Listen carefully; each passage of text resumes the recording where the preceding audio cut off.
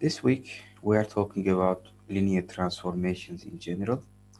First of all, we will talk about linear transformations of random vectors and we will determine uh, the general properties of such transformations and uh, the statistics and the distribution of the result. And we will look at the special case of joint Gaussians, linear transformations of random vectors when random vector is jointly Gaussian.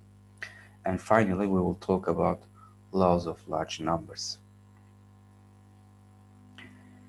First, we'll look at a linear transformation of a random vector. Here we assume that a random vector x has n components and we define a new random vector y uh, which is defined in terms of random vector x through this transformation.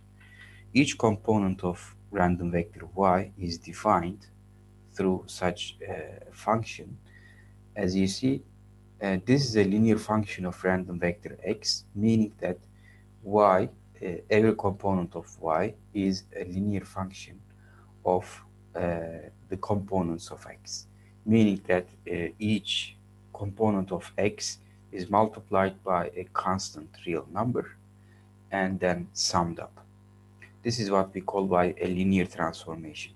And in the general case, where a random vector y has length m or dimension m, and random vector x has dimension n, of course, the transformation matrix, this matrix A here, will be of size m by n.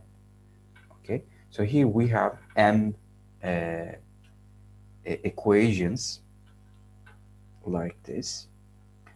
Uh, therefore, you, you, have to observe that the random vectors y and x does not uh, do not need to have the same dimensions, and also the the matrix A here does not have to be a square matrix in general. The first thing we will look at is the mean vector of the transformation assuming that you know the mean vector of random vector x, uh, how can we write that? Uh, how can we write ran, uh, the mean vector of random vector y in terms of the mean vector of x? Well, this, this uh, relationship, this equation will help us do that.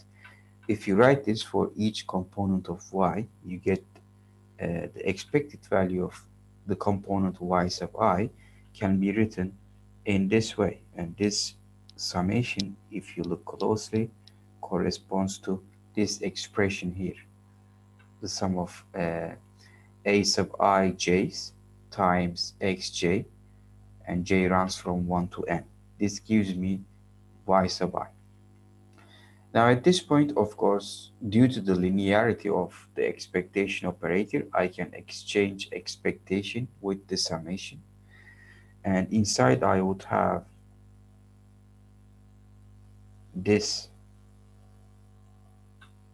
expression inside the sum.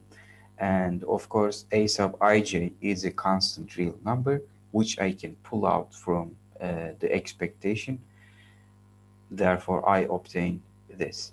For every component of the random vector y I can obtain the mean through this uh, relationship and when you put this into matrix form, you get this. For each component, uh, you have this expression.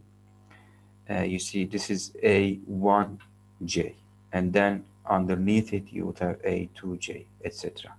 up to A sub MJ.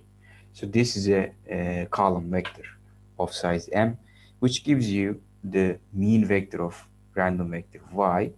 And in, in, in the general form, we can write this as the matrix multiplication where you have uh, this matrix A times the mean vector here. A times the mean vector of random vector n, uh, x.